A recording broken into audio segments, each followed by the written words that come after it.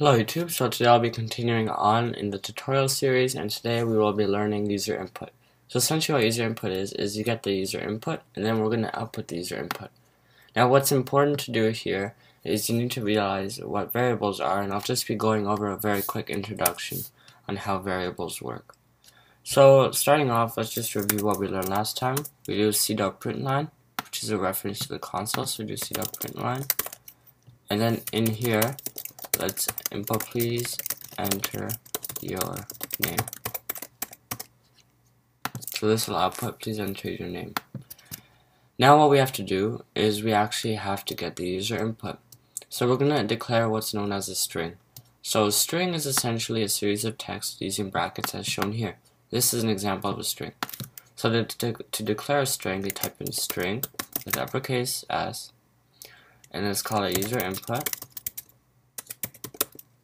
and let's just do it equals nothing. Uh, later on we'll learn how to make this more optimized by using a single line, but for the purposes of tutorial we'll continue like this. So user input equals c.readline. So basically what this does is it gets the user input and it sends it to this variable. c.readline again accesses the console and it does read line so it reads the user input line.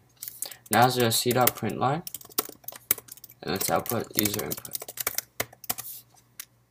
And let's try this. Okay, please enter your name. Horatio. And it outputs Horatio. Now let's make this a little bit more complicated. Quote, your name is, quote, plus this. Will this work? It does work. Here's the explanation. So essentially you have two strings here. You have your name is, because it's surrounded by quotations, and plus, so this will concatenate it. It's called a concatenating operator plus user input. Later on you'll learn that you can also use this for numbers, but when Java detects there's two strings, it'll automatically concatenate them.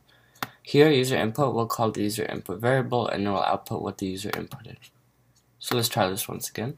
Please enter your name, Horatio. Your name is Horatio. Okay. So this is essentially how user input works in Java. Now let's just try using an integer, but I'll go over more on the variable types in another video. Let's let's also declare int age equals zero. So basically, what int age means is basically the age of the user.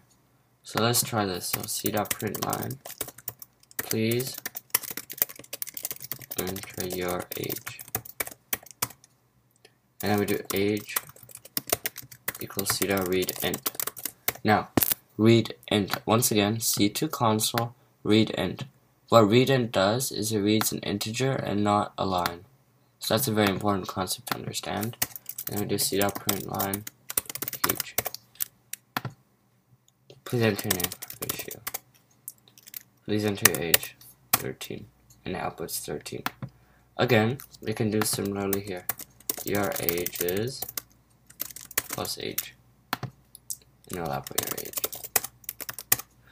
Now, later on we'll be learning how to error trap this. So if I enter a ratio here, my age, enter a word, the program will crash. So we're going to learn more about these the, these different aspects in later videos. So now let's just sum this all up in one single output statement. See that print your age is. So we're going to make it like this. We're going to say hello plus name plus user input plus your age is age. Please enter your name, ratio. Please enter your age, 15. Hello, ratio, your name age is 15. Let's do plus years. Space, here. And this will output ratio. Please enter your age, 15. Hello, ratio, your age is 15 years old. If we want to add a blank line, there's two ways to do this. You can do print line like this with nothing inside the brackets and that'll just simply add a blank space between the age. Here so we put it here.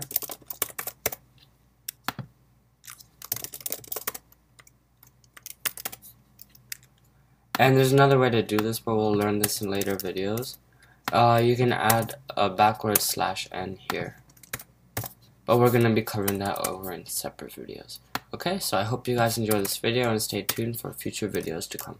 Thanks.